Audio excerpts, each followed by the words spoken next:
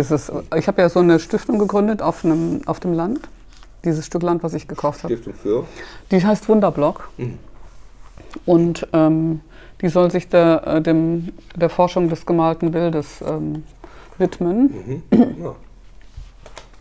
In jedweder Form. Also es mhm. können Leute sein, die schreiben, die mhm. Filme machen, die selber malen, die Forschung dazu machen. So eine Art Research mhm. Center soll das werden. Super. Das ist aber ganz am Anfang. Mhm. Mit ähm, so drei ganz großen ähm, Scheunen, die wie Ateliers sein können und dann Ställe, die man umbauen kann, um drin zu wohnen und auch zu arbeiten.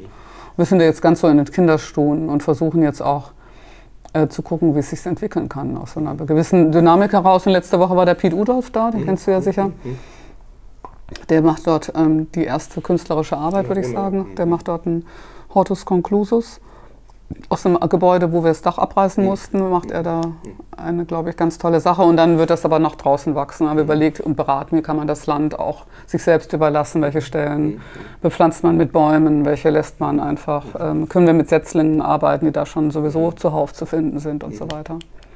Und ich habe immer ähm, unheimlich profitiert von äh, den Nachlässen anderer Künstlerinnen ja. und Künstler, ne? also Schmidt-Rottloff oder Fred Thieler Preis ja. oder Villa Romana oder ähm, auch die Warhol Foundation hatte ich ein Stipendium für die Headlands in ähm, San Francisco. Mhm. Und das ist eben für mich total toll gewesen, in anderen Ländern mal für drei Monate in einem Atelier zu sein.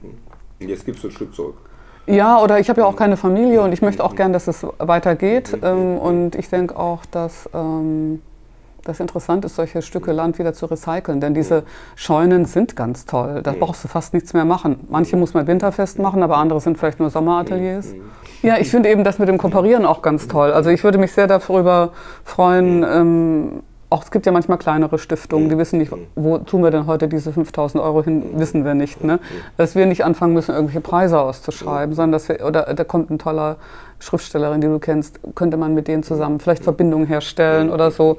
Und das sind eben auch ganz, ganz wichtige Sachen. Also es geht nicht nur darum, dass man sich finanziell stützt, sondern dass wir auch ähm, uns leisten können, an Dingen ganz spezifisch zu arbeiten, wo dann auch die Kulturpolitik nicht hinkommen kann, auch, ne?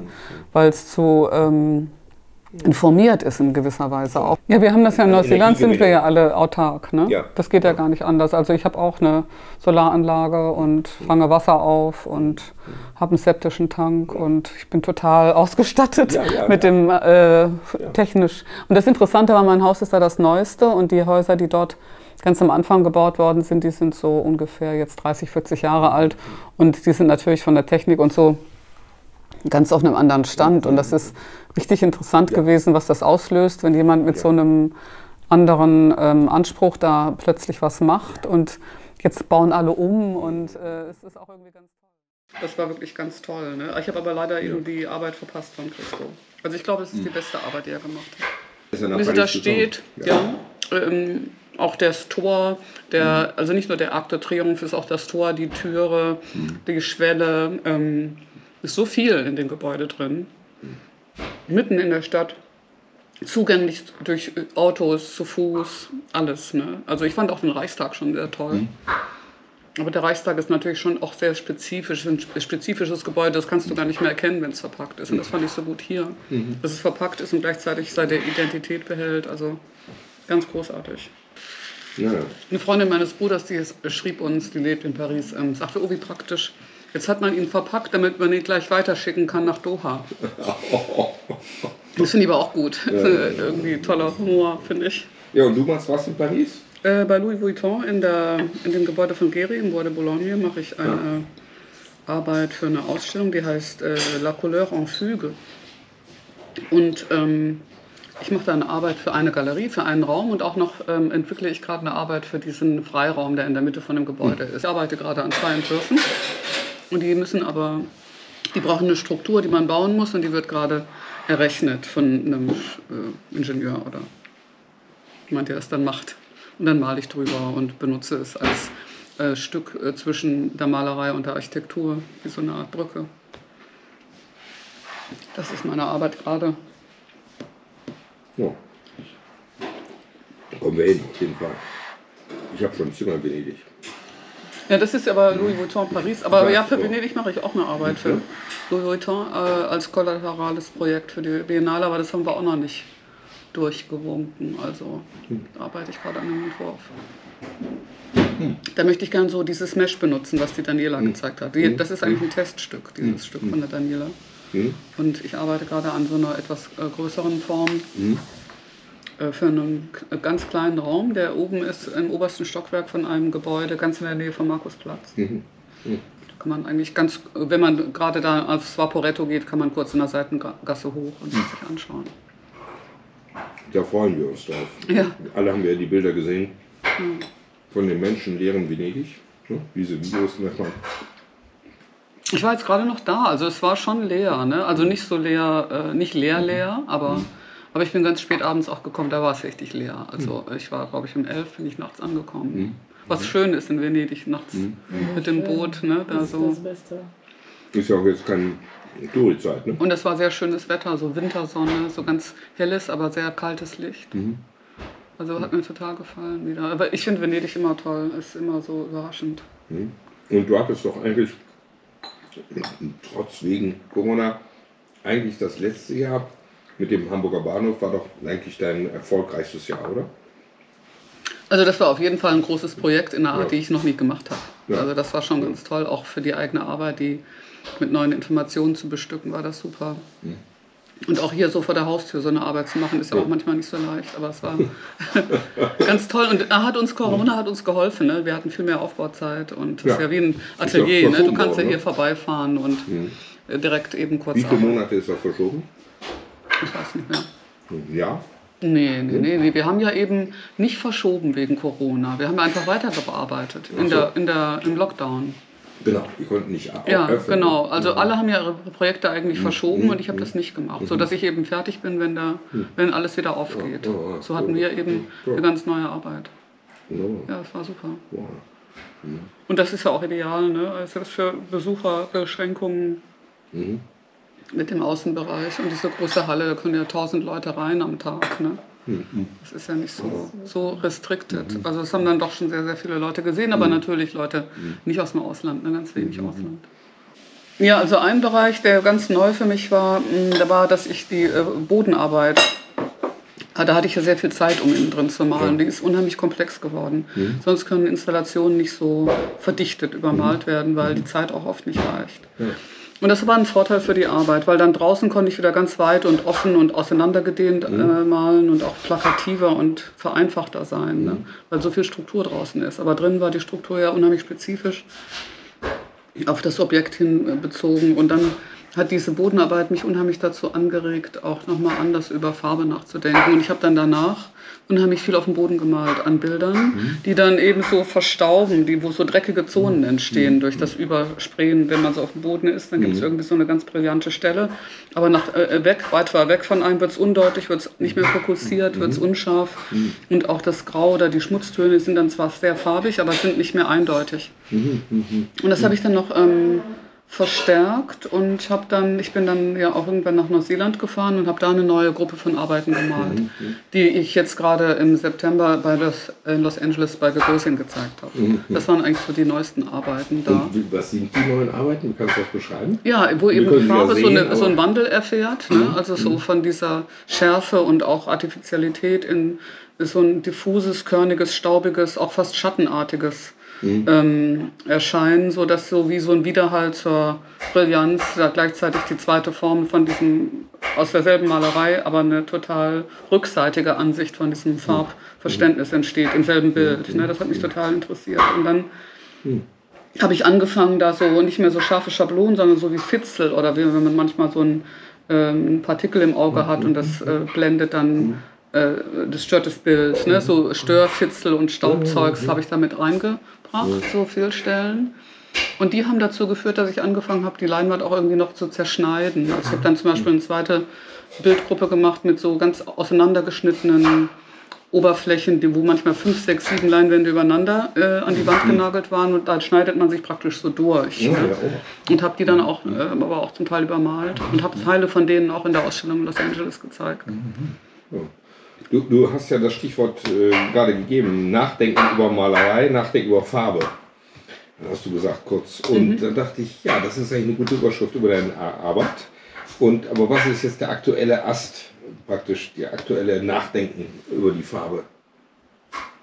Ja, dass sie eben, also, oder was mich ganz besonders interessiert an meiner Arbeit generell, und Farbe ist da eben das Medium, was ich benutze, weil es die größte Wandelbarkeit hat. Mhm. Ne? Also die am wenigsten definiert oder verpflichtet ist einem bestimmten Ort gegenüber, einer Bedeutungsebene oder einer äh, Form von äh, Zeichensprache. Ne? Mhm. Das ist das offenste mhm. mhm. Material mhm. oder äh, mhm. äh, als verlässlich, wenn ich mich auf was verlassen muss, dann benutze ich das offenste Element sozusagen aus der Malerei.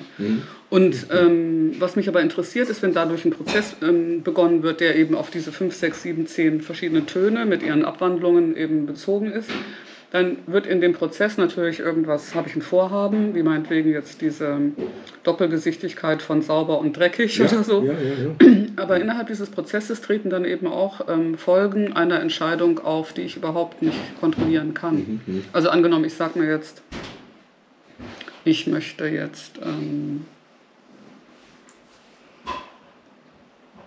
einen Film runterladen im Internet und ich äh, kaufe mir den nicht, was eben Ressourcen spart oder sowas, dann ist aber die Konsequenz aus all diesen tollen Ideen, dass das Runterladen genauso viel Energie kostet wie acht Stunden Autofahren mhm, oder so. Mhm, mhm. Also diese Form des ähm, prozessualen ähm, ähm, Seiten, Seitprodukts sozusagen. Also das, der Prozess, der bei mir immer eine Rolle spielt, der kreiert eben auch ständig diese Nebenprodukte und für die bin ich aber genauso verantwortlich. Also das interessiert mich auch, dass ich das bin und dass ich das oft erst herausfinden muss, welches die Nebenprodukte sind. Ne? Und die kannst du auch wieder ausstellen und zum ja, genau. für neuen Bilder machen. Ganz genau. Also, also, ja produktive Ja, also diese Idee der, ähm, mhm. des äh, Prozessualen ist eben nicht so sehr, dass es sowieso in der Arbeit begründet mhm. ist, dass man eben sich wegbewegt von der äh, angenommenen Ausgangslage. Ja, ja, Sonst ähm, illustriert man oder das kann auch eine tolle Arbeit sein, aber mein äh, Vertrag mit mir selber ist, dass ich das nicht mache. Mhm. Und ähm, jetzt versuche ich eben noch äh, ähm, genauer zu sehen, was mhm. die mhm. nicht sichtbaren mhm. Teile des Prozesses mhm. sind, was ja eben paradox ist. Ne? Ich kann ja mhm. nicht sehen, was nicht sichtbar ist. Also das, das interessant Unsichtbare? Ja, genau, das ist aber trotzdem äh, mit in die Arbeit so ähm, prononciert äh, hinein äh, diskutiert wird. Also praktisch, ich erfinde ja Strukturen, mit denen ich das zeigen kann, was ich vermute. Ne?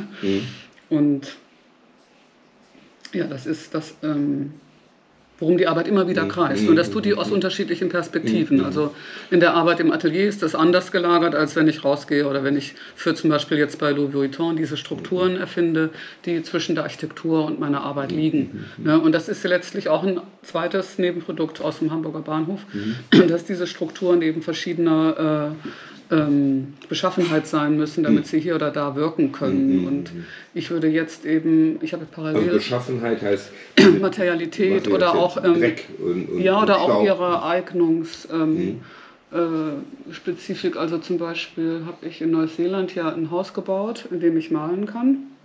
Es hat äh, in dem Innenhof eine äh, Holzhaut. Mhm. Nach außen hin ist es verkleidet mhm. mit einem Aluminium, mhm. was wetterbeständig ist ja, und so, weil da so viel Salz ist, mhm. ganz nah am Meer und so. Salz, Wasser, Luft und so. Und innen drin ist es aber so Marinespeiholz und da kann ich alles draufnageln und draußen malen und drin malen. Also ich habe zwei Teile, ein Außen- und ein Innenstudio.